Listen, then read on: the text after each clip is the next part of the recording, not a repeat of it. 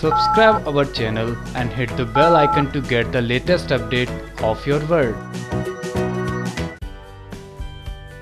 जी हाँ हिना खान और अब हिना खान ही चाह रही है इन दिनों काफ़ी। और सुर्खियों में बस उनका ही नाम। जहाँ हिना खान अपने फ़ोटो लगातार वायरल कर रही है, ये रिश्ता क्या कहलाता में नक्श के रोल में काम कर चुके रोहन मेहरा के साथ, जो कि हिना उर्फ़ अक्षरा के बेटे के रूप में काम कर चुके हैं। उनके साथ ही साथ ये भी देखा जा रहा है कि हिना खान अपने बॉयफ्रेंड और ये रिश्ता पे सेट पर कर रही है जोरों शोरों से पार्टी। और इस पार्टी के लिए हिना खान सलमान के दिए हुए इनविटेशन को भी मना कर रही है। ये तो अच्छी बात नहीं है। अब ये तो आप जान ही चुके हैं कि बिग बॉस 11 का गेम ओवर हो गया है और ये भी कि बिग बॉस 11 की विनर हो गई है शिल्पा सिंधे और इस खुशी में एंटरटेनमेंट की पार्टी रखी जा रही है, जहाँ बिग बॉस के सारे खिलाड़ी होंगे मौजूद।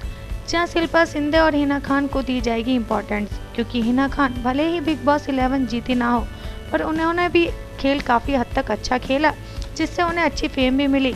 अब हिना खान एंटरटेनमेंट की पार्टी में नहीं आएगी तो कहाँ जाएगी?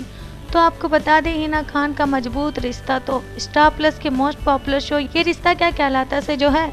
जहाँ ये भी खबर है कि वो आ सकती है अक्षरा के रोल को निभाने के लिए और एंटरटेन कर सकती है शो ऑडियंस को दोबारा। जिसके लिए वो टीवी, इंटरनेट, इंस्टाग्राम, ट्विटर जैसे नामी वेबसाइट पर काफ़ी पॉपुलर है, अक्षय की री एंट्री को लेकर। अब आगे क्या खबरें आती हैं शो से जुड़ी और हिना खान से जुड़ी, ये सारी खबरें हम आप तक पहुंचाते ही रहेंगे। जिसके लिए बने रहिए हमारे साथ और साथ ही सब्सक्राइब कीजिए हमारा channel 24x7 online news newsroom की report